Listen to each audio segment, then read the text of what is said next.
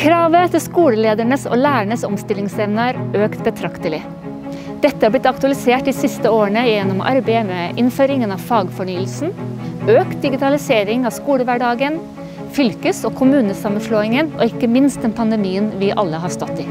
Så hvordan skal skolelederne navigere i arbeidet med å styrke lærerprofesjonen innenfra? Og hvordan kan de bidra til å beholde og videreutvikle den gode læreren som våre utdanningsmyndigheter foreskriver?